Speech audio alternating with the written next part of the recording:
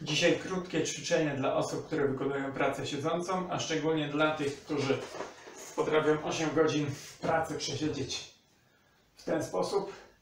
Ćwiczenie to będzie zapobiegać pogłębianiu kifozy w odcinku piersiowym, a także przesunięciu łopatek, a także stawów ramiennych w kierunku do przodu.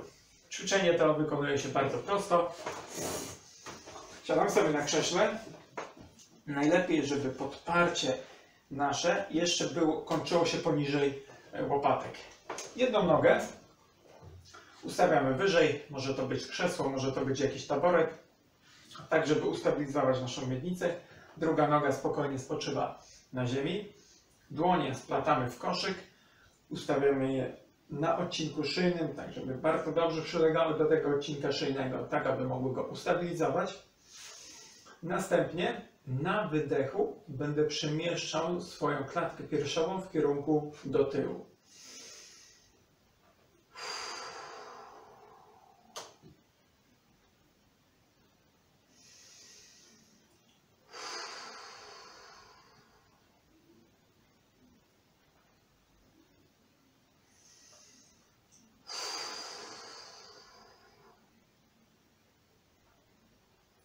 Na co szczególnie powinniśmy zwrócić uwagę podczas tego ćwiczenia? Jeśli przemieszczamy naszą klatkę w kierunku do tyłu, nie możemy pozwolić na to, aby nasz kręgosłup piersiowy oderwał się od oparcia, żebyśmy nie czuli tego, że nasz kręgosłup zaczyna już lędźwiowy, zaczyna przesuwać się do przodu. Jeśli coś takiego się dzieje, znaczy, oznacza to, że to jest koniec ruchu w odcinku piersiowym i nie powinniśmy dalej się e, już przemieszczać.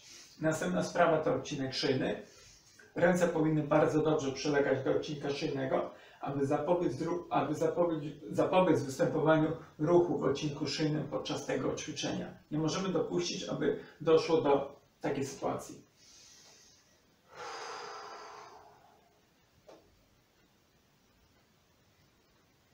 Nasz kręgosłup szyjny zawsze powinien podążać za kręgosłupem, za kręgosłupem piersiowym.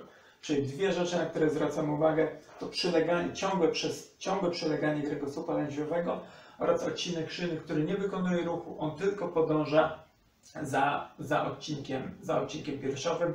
Zawsze ćwiczenie, zawsze ten ruch, wyprost ruch odchylenia do tyłu wykonujemy na wydechu, bo to nam umo- umożliwia wykonanie tego w większym, w większym zakresie e, ruchu. Jeśli nie mamy innych wskazań, to takie ćwiczenie warto wykonać sobie codziennie po pracy lub wieczorem dwie serie po 30 powtórzeń. Podczas ćwiczenia nie powinno być żadnego odczuwanego, żadnego bólu.